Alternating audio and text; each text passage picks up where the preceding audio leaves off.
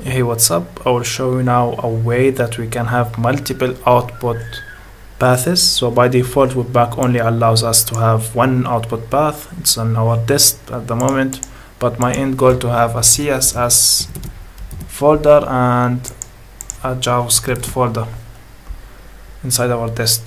So there is actually a hacky way to do it and I will show it to you. We can, if you remember, these files will be outputted or these keys will be the name of our files that will be outputted. It turns out if you added a path here, Webpack will resolve that. So let's put JavaScript, then for the slash main, JavaScript forward slash about, CSS forward slash main. And let me remove everything. So my dist is now empty. So let's run that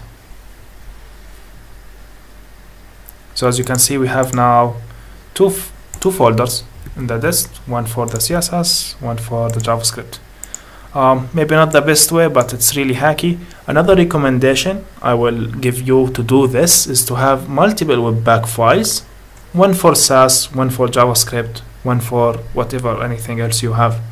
Uh, if, if you combine everything together this will be very long maybe reach three 300 lines. So this is a topic for another video but yeah this is my uh, recommendation. But if you are working a small project this will be fine.